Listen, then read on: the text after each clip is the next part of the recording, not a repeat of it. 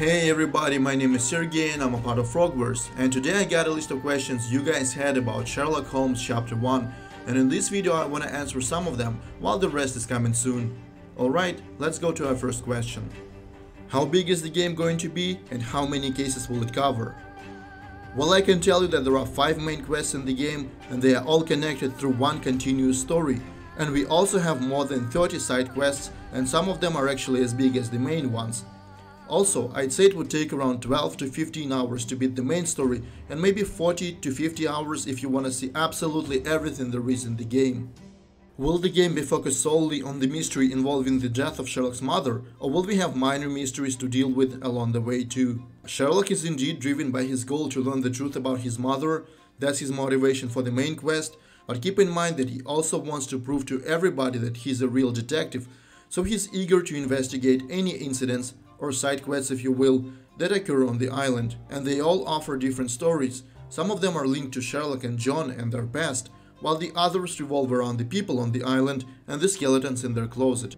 Uh, is the game very linear or will we have options as to what quests we do and when?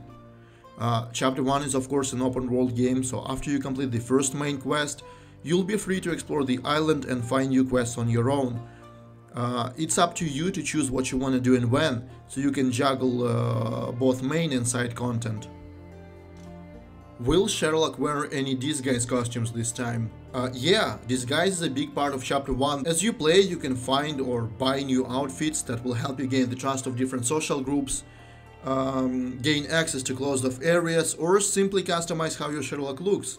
You can get new outfits, hats, glasses, change facial hair, etc. You can even apply bruises and wrinkles if you need to look older. I read that we'd be able to decorate the mansion, so will we be able to shop for furnitures and clothes, or will they get unlocked as we play? Uh, it's actually both. Uh, you can find or earn some as a reward, or sometimes you'll need to buy them from the local vendors, that's how it works. Will the game have multiple outcomes for cases, or endings like in the previous ones? Oh yes, definitely. All main quests and most side quests will have different outcomes uh, based on your deduction choices as well as moral choices, and of course the game itself will offer several different endings. Will it focus on just solving puzzles, or will we see Sherlock do some fighting? Uh, we'll see Sherlock do some fighting as well, uh, where it makes sense for the story, that's all I can say for now. Uh, next question, uh, when can we expect to see gameplay and who's on the voice cast? I'll be honest, we're not ready to show you gameplay just yet because a lot of things are still being worked on. As for the voice cast, let's uh, have a small demonstration.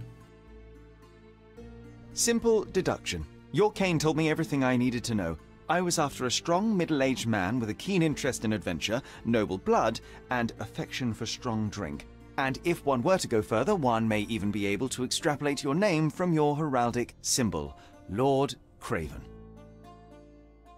Sherry, I'm over here with my new Ursine companion. The servant mentioned ceviche at the bar, Sherry. You should grab us some, and I'll find us a table.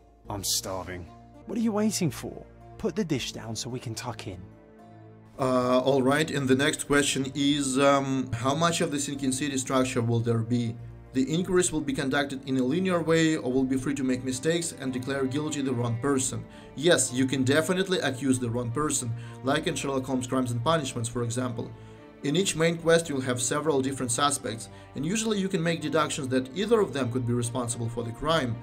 It depends on how many clues you have found and how you interpret their context and piece them together, so it's possible to fail your investigation, but the story will continue regardless.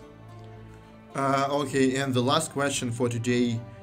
Will there be a teleporting Watson option? I always enjoyed how in the older games he would stand still as you walked away from him, you would turn around and boom, he's standing right in front of you. I miss that. Uh, well, I guess it would be quite a shocker if Watson teleported in chapter 1, considering that he's not even in the game. yeah. Um, Alright, thank you everybody. Uh, as I said, uh, the rest of the questions is coming soon, so I'll be seeing you then. Uh, enjoy the rest of your day.